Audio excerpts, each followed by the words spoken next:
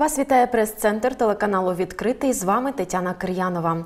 Сьогодні будемо говорити про незвичайну виставку, яку відкрили у Дніпровському музеї пам'яті єврейського народу та Голокост в Україні. Нагадую, наш ефір можна дивитись наживо на сторінці у Facebook OpenTVMedia. Сьогодні в гостях нашої студії директорка музею пам'яті єврейського народу та Голокост в Україні, кандидат історичних наук Ірина Радченко. Вітаю вас. Доброго дня. Пані Ірино, розкажіть, будь ласка, що це за виставка, хто є її автором і що в цілому на ній представлено? Е, виставка під назвою Сатанів е, Забутий світ давнього єврейського цвинтаря відкрилася в нашому музеї 25 січня. Вона було відкриття було приурочене до міжнародного дня пам'яті жертв Голокосту. Власне, її Основу складають 25 планшетів, які створив е, відомий такий подільський краєзнавець. Він дослідник, дослідник єврейської спадщини. Він також фотограф, мандрівник. Все це про нього Дмитро Полюхович.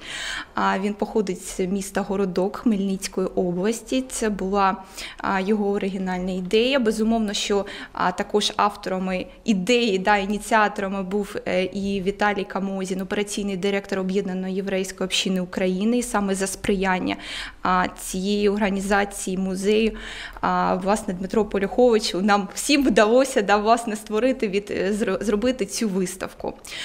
Отже. že 25 планшетів. Е, фактично про що йдеться? Йдеться про те, що Сатанів є одним із найдавніших таких міст з унікальною історією, унікальною історією, безумовно, українською, але також єврейським давнім культурним світом. І саме надгробки, єврейські надгробки або мацеєви, вони слугують певним таким моментом, вони відтворюють частину цієї історії, частину навіть спільну Україну єврейської історії та знаходячись тут так. на території України. А, І саме е, через ці надгробки да, нам е, можна отримати якусь інформацію. І саме ось цих надгробок SmartSafe було можливим зробити такі певні відтворити да, рельєфні зображення і представити на цій виставці. 25 планшетів, е, які говорять про унікальні вони по суті, вони неповторні. Кожен з них є індивідуальним наповненим змістом. Вони містять написи, вони містять інформацію про людей, які померли, про окремо про жінок, про чоловіків. Інформація має релігійний підтекст, безумовно, вона проникнута таким символізмом традиційним для давньої єврейської культури.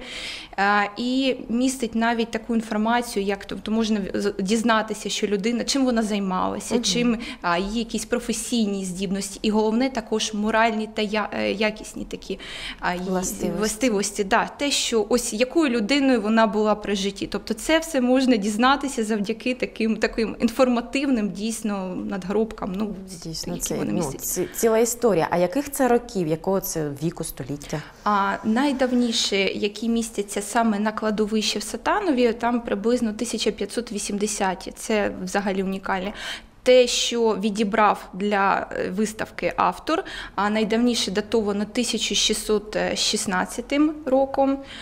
Тобто там е, фактично е, ось, початок да, 17 століття. На, найнові, найновіше, скажімо так, да, це початок 19 століття. І це, власне, вони трішечки, може, відозмінені вже змінюються, бо більш нові вони ну, мають там свої властивості, специфіку вже внаслідок часу, внаслідок певних подій. А ось саме найдавніші, тобто 16-17 століття, вони мають саме ось цей релігійний такий унікальний сенс в цьому. Ми бачимо на екрані зображення. Прокоментуйте, коли це було зроблено і звідки. Так, це якраз зображення з відкриття виставки з 25 січня, коли до музею завітало багато різних вікових категорій, але дуже цікаво і дуже важливо, що завітали до нас, зокрема, студенти історичного факультету Дніпровського національного університету на чолі з завідувачем кафедри Альбертом Венгером. Тобто вони також були присутні. Вони ставили чимало питань, їх цікавили самі ці моменти релігійні, історичні сенси. А також ми бачимо тут і представників е, різних також і е, категорій, і е, просто люди, які цікавляться історією, історією, спільною історією, яка твориться фактично, відтворюється у них на очах. Да? І ось ця виставка саме про цей момент. Да?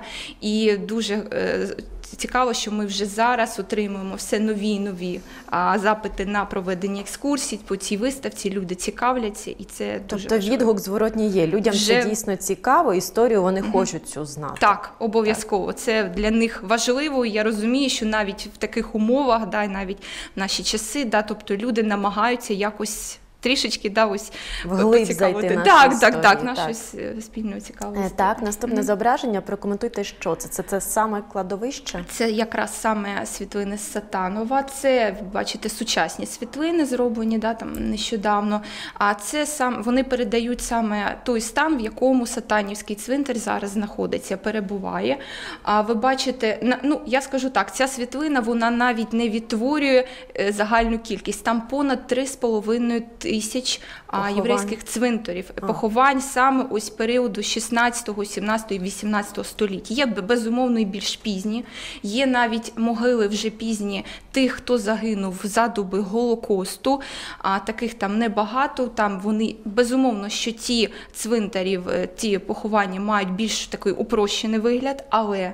А ось саме ці давні вони якраз передають усю, ну скажімо так, красу, да, бо розумію, що могильне таке мистецтво воно асоціюється зовсім з іншим, але тут якраз у цей момент мистецького плану, да, він також дуже важливий його передати і говорити про нього. Автор представлення роботи називає ветенанками. Чому саме так прокоментуйте? А так, е, насправді ветенанка, тому що коли він працює а, з цим е, зображенням, да, то нібито витинається тло, да, тобто залишається лише рельєфне зображення, залишається лише оцей візерунок, все інше він просто, ну скажімо так, воно відходить зовсім там на інший план. А після того є йде ще обробка. А тут я можу сказати так, що Сучасні технології, сучасні якісь мультимедійні можливості, вони безумовно надають а, ось цей момент якусь легкість да, і можливість саме з цим працювати. Але те, що у автора а, виходить ну, приблизно до 8-10 годин на обробку однієї такої світлини, такої роботи, це факт. Тобто це дуже кропітка робота, і вона вимагає безумовно певного такого. До речі, протягом якого часу, скільки це е, треба було приділити уваги цьому, щоб назбирати ці відомості? Я скажу так, що він працює вже чимало років, там не, не один десяток, тобто він людина дуже така захоплююча. Да? А він е, вклав це своє життя, і це один з його таких напрямків. Окрім того, Дмитро Полюхович і є гідом туристичним. Він саме по цій місцевості ну, спеціалізується да, по цьому місту, по цим єврейським всім а, цікавим місцям. І тому а, він і на практиці, да, і в теорії, тобто це поєднання дійсно воно заслуговує такої уваги, безумовно. Так, ми бачимо на екрані одну із планшетів, так який, який представлено на виставці. Можете прокоментувати, що це? А так, це один з планшетів з 25, да, який зробив автор. А, як і в кожному, а, тут переданий свій зміст. А зміст тут ми бачимо. А, е, Два ведмеді, да, а, з по, по обабіч, да, тобто ліворуч та праворуч. А насправді а, сенс е, в тому, що це нібито як е, ну, один із сюжетів священного писання про завоювання хананської землі. А саме тоді а, Мойсей відрядив 12, а, скажімо так, праведних мужів а, до цієї землі, щоб вони ну, пішли в розвідку, що називається. А, лише двоє з них. А це Ісус Навін та Калев, вони виконали волю Бога, да, тобто цю розвідку здійснили і не, не мали сумнівів, не піддали сумніву те, що відбувалося, да, що ця земля можлива да, для подальших е, робіт на неї. А, і власне оці два мужі вони відтворені за допомогою ведмедів. Доволі такий частий сюжет, е, саме ведмеді, да, зображення таке зооморфне, насправді таких зображень багато. А крім того, ви бачите тут грони а, винограду, да, тобто це також сюжет взятий із е, Ганедену, да, тобто райський сад, тобто це ті блага, які кожен може отримати, да, тобто за свої діяння, за свої правильні вчинки. А, і скоріше за все, тобто тут йдеться про людину дійсно праведну, людину, яка мала. А, Скажімо так, вик- виконувала всі важливі діяння, важливі заповіді, дотримувалася їх. Тобто, це такий дійсно, ви бачите, дуже далекий, але сюжет, який вже має ну такий, Такий дійсно, приклад чистої і законопослухняної, такої праведної людини. Так, можна так, так. сказати, і це, це дуже важливо, бо на це зверталася особлива увага, чи дотримувалась людина усіх приписів, усіх е, релігійних виконань, чи все правильно, і тому це фіксувалося да, навіть якимось такими дрібними елементами. Але навіть ці елементи, да, вони дуже такі красномовні і дуже чудово вони відтворені вже автором виставки. все, так, так. так, так, так. Пані Ірино, загалом, яка мета цієї виставки, основний меседж до її відвідувачів? А, основні, основна така мета, яку автор постав перед собою, безумовно, ми, як музей, сприяємо цьому, це ознайомлення людей з давніми набутками, давніми такими пластами самобутньої культурної, єврейської культурної спадщини, яка не є зовсім чужою, вона є нашою, воно є частиною загальноукраїнської. Безумовно, що це переплетіння, тісне переплетіння української єврейської культури, а це збереження, це, скажімо так, аналіз того, що було, і щоб людина завжди пам'ятала про як. як яким чином да, воно все дійшло до нас.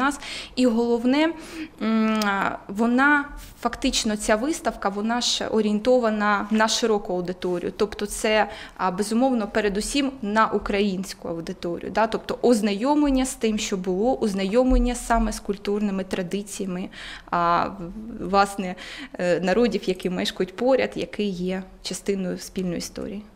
Саме Дмитро Полюхович виступає автором виставки. От цікаво, як ви, ваш музей з ним познайомились, вийшли на цей контакт, щоб в нашому місті, в нашому Дніпрі представили цю, е, ці роботи.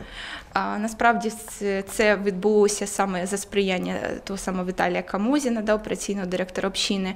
А він е, з ним вже е, чимало там знайомий був. І якраз оця спільна ідея, спільна мета да, представити якісь цікаві частини історії, частини культури, традицій, да, вона ось так в принципі народилась. До того ж, пан Дмитро вже дійсно, як я казала, чимало років вже присвятив цій справі, і він дуже б хотів, щоб люди з інших частин України, з інших регіонів мали можливість ознайомитися. А тут якраз Дніпрі, музей, тобто все це якраз І в нас чудово. багато гостей, так, внутрішньо переміщених осіб, тому всім я Безумовно, певно було безумовно, цікаво. так. Пані Ірино, допоки триватиме виставка?